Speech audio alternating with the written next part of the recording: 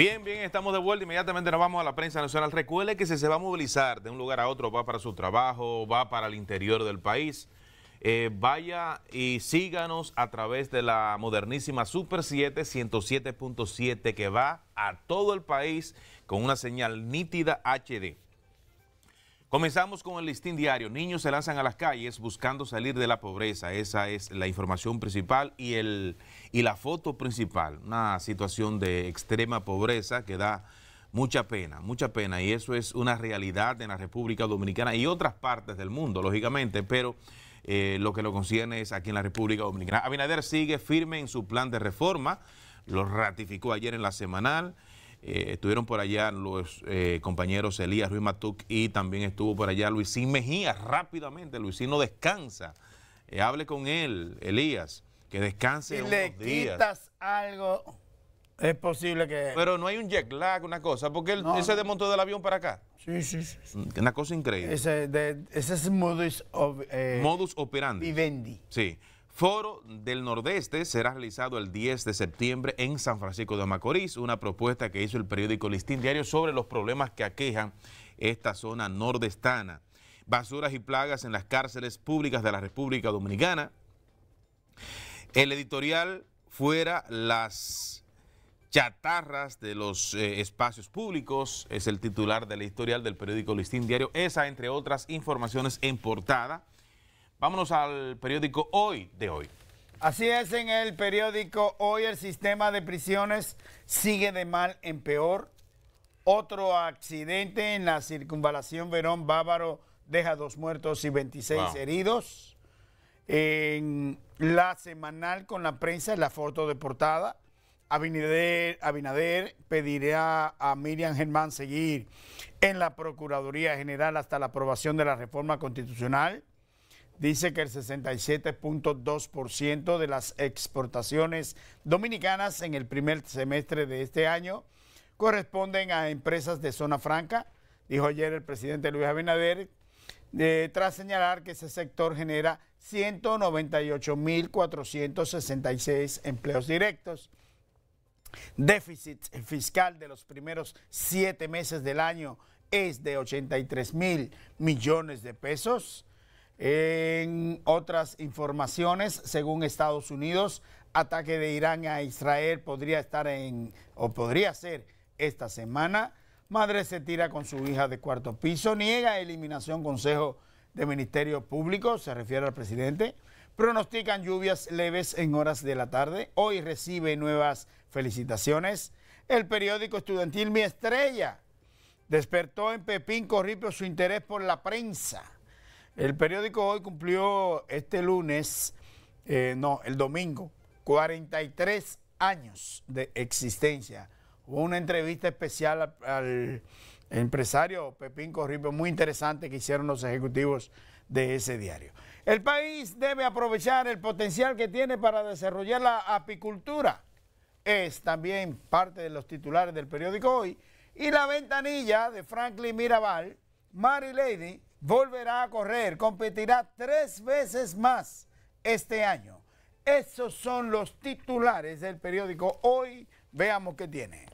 El Caribe, Marilady, co- corre incluso en la Liga Diamante a finales de este mes de agosto, nuevamente. O sea, Ah. la mujer no se para. Fiscales contra reforma constitucional es la foto principal de protesta de los fiscales. Además, aumenta un 10% reclusos con el VIH en las cárceles de la República Dominicana. La Oficina Nacional de la Defensa Pública afirma que en un año las personas que viven con el SIDA pasaron de 387 a 431. Además, los internos con hipertensión eh, suman 1.569, con diabetes se- 726. ¿Cuántas enfermedades en las cárceles, Elías? Además, fe- enfermedades eh, mentales. Más de 500 con enfermedades mentales también en la República Dominicana en las cárceles.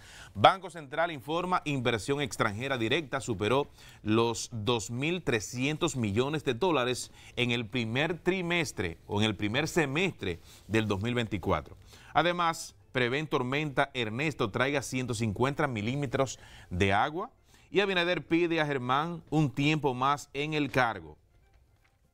Informaciones en el periódico El Caribe de hoy. Continuamos con El Día de hoy día. En el periódico El Día, operativos antinarco implican a muchos agentes y cooperación externa confiable. Constante evolución de métodos de los carteles es desafío para las autoridades. Interdicción dura hasta días. Ciclo olímpico en dos Olimpiadas. República Dominicana superó lo histórico. El COE alerta lluvias desde anoche por la cercanía de tormenta. Si sigue trayectoria sobre Puerto Rico y las Islas Vírgenes, provocará lluvias en el país. La reforma constitucional es portada del presidente Luis Abinader en la semanal y lamenta sectores no entiendan su propuesta sobre tema de la Constitución. Escoger nueva Junta Central Electoral es desafío próximo Senado debe evaluar actuales miembros y garantizar que se mantenga el equilibrio y la confianza registrada. Madre e hija mueren al caer de cuarto piso. Depresión puede haber causado. Génesis Lugo se lanzara de edificio con su hija de cinco años. En cárceles hay males en las condiciones. Maduro afirma no entregará poder. Mm. Esos son los titulares del periódico El Día. Veamos qué tiene. Diario Libre, que dice que se reabren las esperanzas de que tengamos petróleo con cantidades explotables. Refidonza indica la posibilidad que existe unos, cuatro, unos 543 millones de barriles de petróleo. De este total, solo 74 eh, millones serían explotables, o sea, podrían explotarse. Además, alerta máxima por fuego en Grecia, lo que comentamos al principio, Grecia, Italia, España, son de los países de Europa con más fuegos forestales en este 2024 y también lo fueron en el 2023.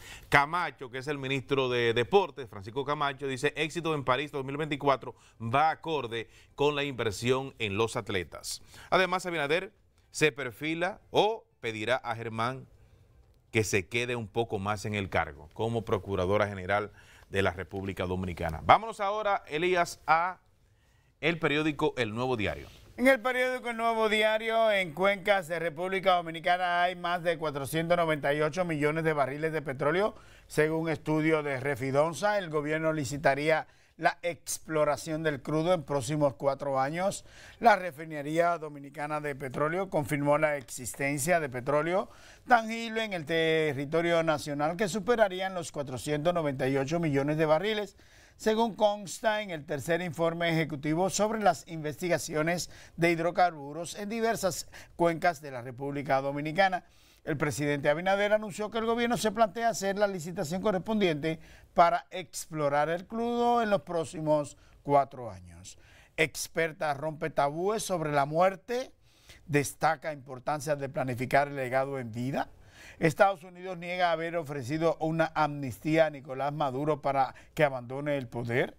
Alcalde de Monteplata critica bajo presupuesto recibe, destaca necesidad de una mayor inversión.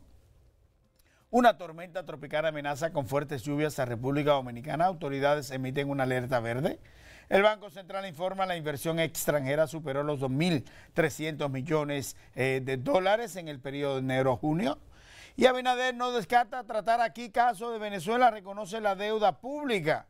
El presidente Abinader no descartó que el tema sobre la crisis de Venezuela sea abordado de manera informal por algunos de los jefes de Estado o de gobierno que vengan al país el próximo viernes a su toma de posición para un segundo mandato. Esos son los titulares del periódico El Nuevo Diario. Veamos qué tiene. Siete días.com.do dice que el Banco Central de la República Dominicana informa que la inversión extranjera directa superó los 2.300 millones de dólares en el primer semestre del 2024. La información del COE dice nueve provincias en estado de alerta, que lo mencionó Elías al principio. Además, nos habla de que la Policía Nacional pone bajo arresto hombre responsable de causarle la muerte a su cuñado en San Pedro de Macorís. Esas son las más importantes informaciones en 7días.com.do. Vámonos a proceso. Proceso fallece niña cuya madre se lanzó con ella desde un cuarto piso en Santo Domingo Norte. Abinader niega, pretende eliminar el Consejo Superior del Ministerio Público. El COE coloca nueve provincias en alerta verde por ciclón tropical Ernesto. Actriz dominicana Clara no estará en juramentación del presidente Abinader. El ministro de Economía considera esencial dotar el Estado de las capacidades necesarias para proveer bienes y servicios públicos fundamentales. Y la FINJUS lamenta la caída del expediente del caso de Brecht y llama a reflexión. Esos son los titulares del periódico Proceso, proceso.com.do. Con ello culminamos la lectura de los diarios de circulación nacional. Nos vamos a una pausa comercial. Venimos con más e interesantes informaciones.